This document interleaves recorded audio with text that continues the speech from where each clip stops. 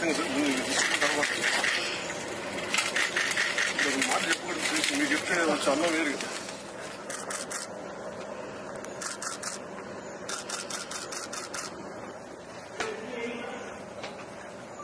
మాట చెప్పండి సార్ శ్రీ శ్రీ ప్రోత్సవం పెట్టారు ఈరోజు శ్రీశ్రీ అది. కాదు సార్ ఈయన ఆయన కొంపల జనార్దన్ ఆయన ఫ్రెండ్ సార్. ఈయన ఇంత ఉందా? లేదా? నాకు మంచి మంచి ఫోటో ఇస్తాను చాలా గొప్ప డిజైన్ చేసింది ప్రయాణం అంటే ఒక జాతి తాలూకు ప్రయాణం సార్. అంటే ఆయన వేసిన ఒక అడుగు రాసిన ఒక పుస్తకం ఒక శతాబ్దం మొత్తం మాట్లాడుకుంటున్నాం ఇంకా చాలా శతాబ్దాల పడుతుంది.